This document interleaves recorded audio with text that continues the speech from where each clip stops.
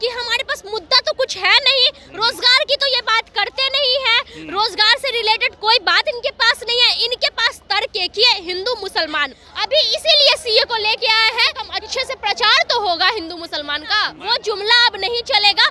अब चलेगा तो सिर्फ़ यही चलेगा कि हम लोग को पहले रोज़गार चाहिए। हमारे राम तो हमेशा से हमारे दिल में है हमारे पूर्वज है तो हमारे दिल में रहेंगे। उनको बोलते हैं ये लोग कि मोदी जी राम जी को लिया है। मोदी जी नीरव मोदी को क्यों नहीं अभी तक लेके आ पा रहे हैं? ये बताइए ना। हिंदू मुस्लिम के नाम देंगे मुझे सब दिल के अंदर में है वो मंदिर भी अंदर में है मस्जिद भी अंदर में। भाई साहब ये हिंदुस्तान है। हिंदू को दिक्कत होगा बाहर में तो यही आएँगे। इतना दयालु कोई और देश नहीं है जो हिंदू को रख लेता। रख लेता तो क्यों आया वो? हिंदुस्तान से अफ़गानिस्तान बना है। हिंदुस्तान से बांग्लादेश बना हिंदुस्तान से पाकिस्तान बना और इन तीनों देश में ये ये इन हिंदुस्तानियों को दिक्कत हो रहा है। वो यहीं आएँगे। पटना जंक्शन पर हमारी मौजूदगी है कि सीए लागू होने से आ, क्या दिक्कतें हैं लोगों को और क्यों लोग पक्ष में हैं क्यों विपक्ष में हैं उनका तर्क क्या है? करिश्मा जी ये बात करते हैं। मैम जिस प्रकार से सी को लागू कर दिया गया चुनावी साल है कैसे देखते हैं? देखिए सीए को लागू क्यों किया गया है? ये जो भाजपा वाले हैं ना वो हर तरह से हर एंगल में ढूंढते हैं हिंदू मुस्लिम हिंदू मुस्लिम। राम मंदिर पहले राम पहले तो ये जगह का नाम बदलना शुरू किए। जिस तरह से प्रयागराज नाम रखा गया इलाहाबाद। का। ठीक है?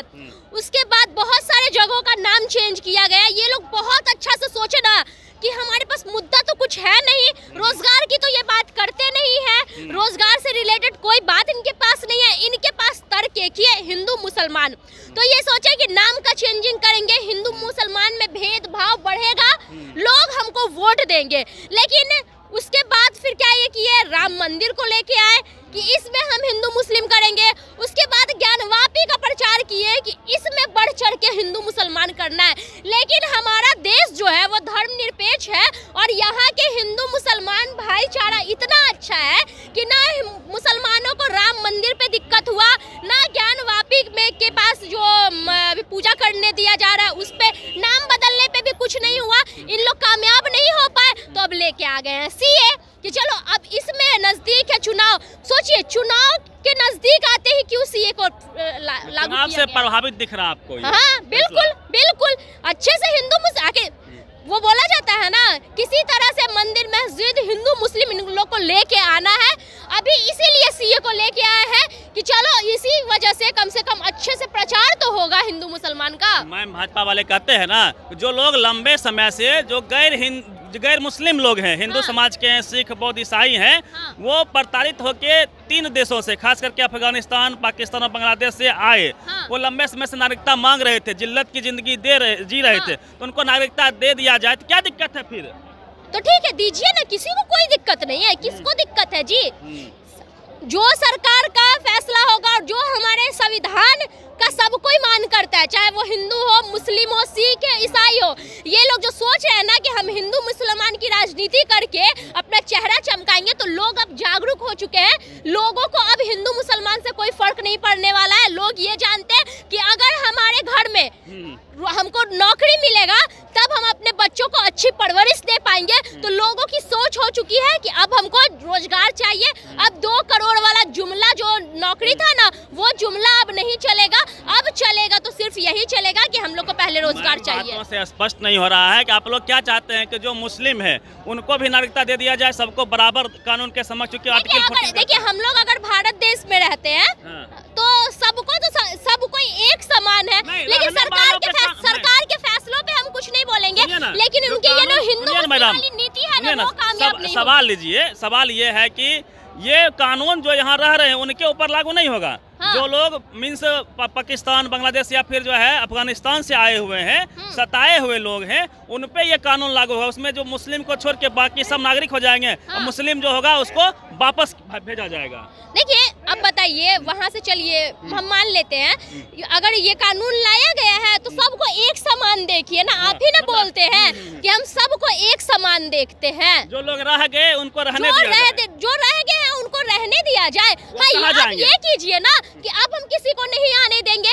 ये ये कर सकते हैं लेकिन बचाइए 2014 से जो अभी तक बसे हुए नहीं, चौदह से पहले। जाके हाँ वही सुनिए दो ना, हज़ार इससे चौदह पहले जो नियम था उन्नीस सौ से ऐसी इकहत्तर के बीच में जो लोग विस्थापित होकर आए थे हाँ। पलायन करके तो उनको नागरिकता दी गई थी उस हाँ। इकहत्तर से लेके 2014 के बीच में जो लोग आए हैं वो लोग सबके लिए एक सम, समान कानून होना चाहिए। और देखिए सीए देखिए क्या होगा ना? अभी ये सिर्फ़ मुद्दा बनाया गया है ठीक है? प्लांटेड है। हाँ इलेक्शन को लेके ये प्लान किया गया है कि सीए का सीए को लागू करना है। और सोचिए ना जैसे ही रमज़ान का पहला दिन वैसे ही सीए कानून को ला दिया गया। अच्छा। बताइए जब आप इलेक्शन लड़ रहे हैं तो मुद्दा पे लड़िए ना जी। रोज़गार पे लड़िए गारंटी मोदी जी गारंटी चल रहा है। मोदी जी की गारंटी थी ना दो करोड़ रोज़गार। क्या दो करोड़ यहाँ पे कि, किसको रोज़गार मिल गया? वो तो जुमला था पंद्रह लाख का जुमला। पंद्रह लाख का भी जुमला भी हवा में उड़ गया कि पंद्रह लाख नौकरी पे पंद्रह लाख हर किसी के अकाउंट में जाएगा। यहाँ जितने भी उद्योगपति हैं वो भाग जाते हैं। ये बोलते हैं कि हम राम को लिए आए हैं लेकिन उन उद्योगपति को क्यों नहीं लेके ये आ पाते हैं? हमारे राम तो हमेशा से हमारे दिल में है हमारे पूर्वज हैं तो हमारे दिल में रहेंगे उनको बोलते हैं ये लोग कि मोदी जी राम जी को लिया है तो मोदी जी नीरव मोदी को मोदी जी नीरव मोदी को क्यों नहीं अभी तक लेके आ पा रहे हैं? ये बताइए ना लाना चाहिए ना? बताइए। नंबर आएगा। भगवान आपके दिल में नहीं है। कब नंबर आएगा? कब नंबर आएगा? ये बताइए ना। इंतज़ार कीजिए सब कुछ अब दसे साल में चाहते हैं। क्या? सब कुछ दसे साल कर दस सुनिए ना दस साल दस साल दस साल में वो कितना नौकरी दिए आप हमको बताइए ना कितना नौकरी दिए बताइए। गिनती है? नौकरी का इतना लोग पकौड़ी तल रहा है सब रोज़गार में है। अच्छा वो जीविका है या नौकरी है ये बताइएगा तो। मान लिए पकौड़ा ही बेच रहा है ठीक है? तो भैया हम काहे के लिए मेरा माँ बाप पढ़ाया? हम तनियों को से पकौड़ा का दुकान खोल के बैठ जाते काहे के लिए स्कूल में हम फ़ीस देते काहे के लिए हम कॉलेज में फ़ीस देते तनियों को से हम पकौड़ा लेके बैठ जाने तनियों को से लिट्टी का दु- लिट्टी का दुकान खोल लेते सुनिए ना। पढ़ाएँगे पढ़ेंगे काहे के लिए अभी हम लोग सीए पे बात करें कुछ और लोगों से प्रतिक्रिया ले लेते हैं। हजारों- नहीं चाहते हैं कि जो हिंदू सताए गए हैं बांग्लादेश में पाकिस्तान अफ़गानिस्तान में उनको नागरिकता भारत दे दे।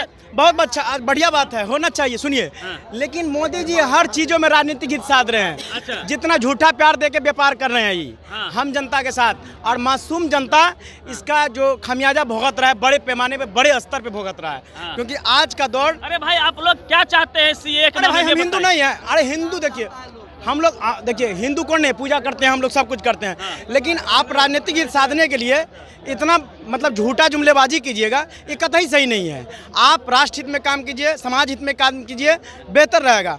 आप अनाज बंटवाते हैं इक्यासी करोड़ को क्या दर्शाना चाहते हैं आप? कि हमारा देश गरीब है हमारा देश में शिक्षा मुफ़्त नहीं होगा? सुनिए। तो राशन देना गुनाह है क्या? तो पाँच किलो का राशन दे देते हैं ये मीडिया वाला चैनल है ना वो बंद करिए घरे बैठिए ठीक है? ना तो दिखाते देखिए ना। दिया जा रहा है जो लोग सक्षम नहीं है पहले से गरीबी मोदी जी ला दिए हैं हज़ारों साल से गरीबी चल रहा है देश जो यूरिया डीएपी का जो दाम बढ़े हुए हैं। हाँ। अगर यही कम कर दे ना किसान उनके पाँच किलो देते हैं ना दस किलो सरकार को पहुँचा देंगे ठीक ना? अच्छा। दस किलो से किसान सरकार को पहुँचा देगा ठीक ना?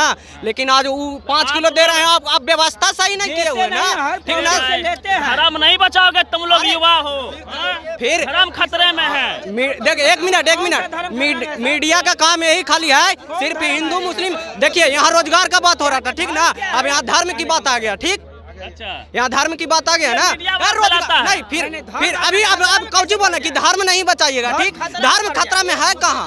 मुद्दा कौन है हम अभी यहाँ कोई बोल रहा है कि धर्म लगता है कि धर्म खतरे में है? यार, कौन धर्म खतरे में खतरे कहाँ धर्म खतरे में है? आपको लग रहा है की धर्म खतरे में खतरे में डाला जा रहा है। धर्म खतरे में नहीं है ठीक ना? हाँ एकदम नहीं है। सिर्फ़ लोग राम मंदिर ऐसा देश दस बीस पचास मंदिर बने देश में। मंदिर बनना चाहिए लेकिन सर रोज़गार का बात होना चाहिए। देश में युवाओं के लिए कुछ है तो बताई तो सब कुछ में बीच में मंदिर क्यों आ रहा है मंदिर मोदी जी बनवाए हैं तो क्रेडिट लेंगे ना भाई? है तो ठीक है वो बात क्रेडिट कौन लेगा?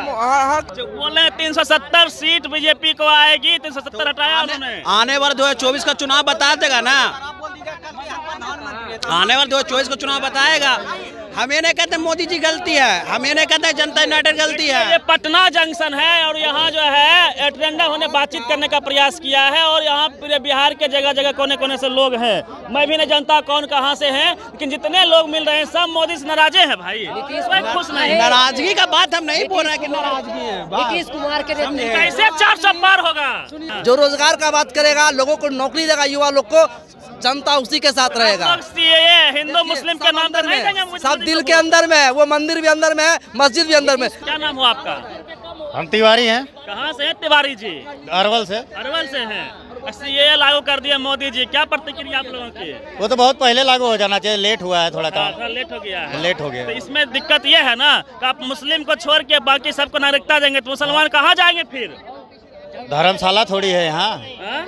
धर्मशाला थोड़ी है। तो हिंदू के लिए धर्मशाला है यहाँ? हिंदुस्तान एक ही है वर्ल्ड में। जैन के लिए बौद्ध के लिए? उसको भी रख रहा है। हाँ, ईसाई के लिए। धर्मशाला उसको भी रख रहा है। मुस्लिम के लिए धर्मशाला नहीं है। वो इस्लामिक स्टेट है वहाँ। हाँ। वो तो ऐसा कई सारा ईसाई का स्टेट है। तो ईसाई को आप कहे रख रहे हैं? काहे नहीं रखेगा? कहाँ जाएगा वो? वो यहीं का मुस्लिम होगा। कहाँ जाएगा? यहीं का होगा। मुस्लिम कहाँ जाएगा दोस्त? मुस्लिम को मुस्लिम को थोड़ी थोड़ी भगा रहा है तो मोदी। कौन सा मुस्लिम को भगा रहा है नियम है ना सुनिए ना। जो यहाँ के हैं उनको नहीं जो लोग यहाँ आ गए इकहत्तर के बाद चौदह तक में जो लोग यहाँ उनके पुरखे वगैरह रह रहे हैं उनको कैसे आप भगा दीजिएगा? जो जो बांग्लादेश जो बांग्लादेश के हैं और पाकिस्तान के हैं वो दोनों इस्लामिक स्टेट है। अच्छा। उनको वहाँ पे कोई दिक्कत नहीं है। हाँ। दिक्कत नहीं है उनको। दिक्कत वहाँ हिंदू बौद्ध और ईसाई को है। हाँ। जो जिनको दिक्कत है उनको पहचानेंगे कि इनको दिक्कत हुआ तब इनको भगाया गया है? अपना मन से भी आ सकते हो। तो सत्ताईस परसेंट हिंदू थे पाकिस्तान में तीन परसेंट हो गए। कैसे नहीं पहचानेगा? हमारे भारत से क्यों नहीं कोई जाना चाहता है? यहाँ तो नहीं सताया जा रहा। लोकतंत्र है। तो लोकतंत्र है तो वहाँ भी लोकतंत्र है। लोकतंत्र है तो मुँह उठा के चल आइएगा सब। सुनिए चाहते क्या है ये अरे वो दोगलों का लोकतंत्र है वहाँ। चाहते हैं बताइए आप क्या चाहते उनको हैं हिंदू राष्ट्र चाहते हैं। हिंदू राष्ट्र मतलब क्या होता है बताओ। क्या होता है हिंदू राष्ट्र हिंदू राष्ट्र बनने से देश के क्या पाँच फ़ायदा बताओ। बहुत फ़ायदा है। आप जो अभी बोले ना कि कि मुस्लिम को यहाँ नागरिकता क्यों नहीं मिल रहा है? हाँ। ईरान है सिया बाहुल देश। ठीक है? वो देता है सिर्फ़ सिया को नागरिकता उनसे पूछे हैं कभी आप सुनिए और सुनिए। दूसरा सुनिए। ना दूसरा गड्ढा हम गिर जाएगा तो हम भी जा गिर जाएँगे। हमारा देश सुंदर है संविधान चलता है। बांग्लादेश हिंदू राष्ट्र है। बांग्लादेश में 28 परसेंट हिंदू था आज आठ परसेंट बचा है। संविधान पढ़े हो आर्टिकल चौदह में कहा गया है कानून के समक्ष सबको सभी नागरिक बराबर है चाहे वो हिंदू हो मुसलमान हो सिख कोई भी हो धर्म के नाम पे लिंग के नाम पे रंग के नाम पे हर रंग हर चीज़ पे जात के नाम पे वो वहाँ बराबर है। इससे पहले भी लागू हुआ कानून सुनिए ना, ऐसा इससे पहले भी लागू हुआ इससे पहले विरोध नहीं हुआ है। हिंदू राष्ट्र क्या दिक्कत है आप आपको पढ़ाई के लिए कौन लड़े? ज्योतिबाई फूले। सावित्रीबाई फूले। पढ़ाई के लिए हम लड़े हैं मर्दे। ज्योतिबाई फूले लड़ा है। हमरा डिग्री के लिए हम लड़े हैं। आप लड़े हैं। लालू यादव लड़ा है हमको जन्म देने के लिए हैं? हमको जन्माने के लिए आपको तो लालू यादव मुँह में बोली दिया। इससे पहले बग अंग्रेज़ बंद है। आप अपने बच्चे को संस्कृत विद्यालय में नहीं लिखा पाइएगा। सावित्रीबाई फुले ने प्रथम महिलाओं के लिए स्कूल खोला। उससे पहले महिलाएँ नहीं पढ़ती थी। इतिहास पढ़ा करो। 1848 में सावित्री बाई सावित्रीबाई सावित्रीबाई फुले ने पहला जो है पहला जो है स्कूल किसने खोला? diamond. अब आप वो बता खोला। हाँ वही खोला। सम्मान करना चाहिए। हाँ, कुछ भी बोल देना अरे तो कुछ भी मेरा ये क्या मेरा संपा सवाल वो नहीं है। सवाल मेरा है कि सीए से कितना देश को फ़ायदा नुकसान या इस पे आप लोग की क्या आपत्ति है या प्रतिक्रिया है? हम भी तो सीए हाँ। वही तो वही माँ से बोले ना कि सावित्रीबाई फुले तुमको पढ़ा रहा है। फंडिंग आ रहा है मेरे पास। ए भाई, सावित्रीबाई फुले से डिबेट को जो है डाइवर्ट कर रहे हैं। हम डाइवर्ट नहीं कर रहे हैं। देखिए पढ़ाई हम लोग खुद करें। क्या आप लोग सोचते हैं? देखिए वो जो है क्या कहते हैं भारत के जो पड़ोसी मुल्क देश है उससे जो अल्पसंख्यक जो प्रताड़ित है वो भारत की नागरिकता प्राप्त करेंगे। बात खत्म इसमें इसमें इसमें बुराई क्या है? कौन प्रताड़ना से आया? कौन प्रताड़ना से नहीं शौक से आ गया? कैसे पता चलेगा? वहाँ पर एकदम प्रताड़ित है वहाँ पर अल्पसंख्यक लोग। तो हाँ, हाँ, तो बाहर से तो धर्मशाला नहीं है। क्यों आएगा? काहे आएगा? काहे आएगा? रोक के आने से? क्यों? तो वो समय सरकार गलती किया है। अब ये ठीक कर रहा है। वही चीज़ तो ठीक कर रहा है। जो लोग आ गया खत्तर में काहे आया? यहाँ बिज़नेस चल उसका बल बच्चा पढ़ रहा है आगे बढ़ रहा है। फिर वो अचानक कहाँ तो यहाँ जाएगा वो? तो यहाँ तो बिज़नेस रोज़गार बढ़वे करता है। आएगा तो आप जो है किसी को धर्म के हिसाब से रखिएगा जो कि सेकुलर देश भाई साहब ये हिंदुस्तान है। हिंदू को दिक्कत होगा बाहर में तो यही आएँगे। समझ गए? हम्म। इतना इतना इतना बात रिपीट रिपीट हो गया ना। इतना दयालु कोई और देश नहीं है जो हिंदू को रख लेता। रख लेता तो क्यों आया वो? क्यों आया वो यहाँ पे? अरे छोड़िए हिंदू को छोड़िए। जब दिक्कत अदर है तो कंट्री का मुसलमान देश भी जो मुसलमान को नहीं रखेगा। ये इस, ये भी तो बात रखिए। अदर कंट्री में भी होता है सियासत मेरा सवाल सवाल आप नहीं समझ पा रहे हैं। जो ईसाई है ईसाई देश भी बहुत सारा है। तो वो वो वहाँ रखे। ठीक है? बौद्ध बहुत सारा देश है। ठीक है? तो मेरा कहने का अर्थ ये हुआ आपका कहने का मतलब हम समझ गए। सुनिए। सिर्फ़ मुस्लिम से क्यों सुनिएगा। ईसाई अमेरिका से नहीं आ रहा बौद्ध अमेरिका से नहीं आ रहा। ये सब हिंदुस्तानी थे। हिंदुस्तान से अफ़गानिस्तान बना है। हिंदुस्तान से बांग्लादेश बना हिंदुस्तान से पाकिस्तान बना और इन तीनों देश में ये ये इन हिंदुस्तानियों को दिक्कत हो रहा है। वो यहीं आएँगे। अरे सबसे ठीक है? खाली मोदी जी को फ़ायदा है। किससे? सीए से? हाँ। कैसे फ़ायदा है? अरे फ़ायदा ही फ़ायदा है। फ़ायदा है? एक करोड़ का वोट मिलेगा सब कुछ मिलेगा। मोदी जी की है ना आज तक भैया एनआरसी है पहले कि उनको नागरिकता दिया जाएगा पहले अभी। चलिए इन लोगों से हम बात कर रहे थे सीए और एनआरसी पे। आपका क्या मानना है? हालाँकि सीए लागू हुआ है एनआरसी अभी लागू नहीं हुई है लेकिन क्रोनोलॉजी अमित शाह ने पहले समझा दिया है कि पहले सीएए आएगा फिर एनआरसी आएगा। यह जो मुद्दा है यह कितना चुनाव से प्रभावित है? क्योंकि चुनावी साल है तो सभी पार्टियाँ अपने अपने वादे गारंटी की बात कर रही है उसी गारंटी में एक सीए भी लागू कर दिया गया है। तो इस पे आपका क्या मानना है? सीए से देश को कितना फ़ायदा है? या इस पे आप क्या मानते हैं? कितना सही है कितना गलत है? या फिर इस कानून में क्या और संशोधन की आवश्यकता है? पूरी बातचीत पे दीजिएगा रवि मेहता, नेशनल दस्तक, पटना। नेशनल दस्तक की आपसे गुजारिश है कि अगर इसको बचाना चाहते हैं तो नेशनल दस्तक को सब्सक्राइब करने के लिए रेड कलर के सब्सक्राइब बटन को दबाएँ, फिर बेल आइकन की घंटी दबाएँ। नेशनल दस्तक को बचाने के लिए बहुत ज़रूरी है कि हर खबर को शेयर करें, लाइक करें, कमेंट ज़रूर करें।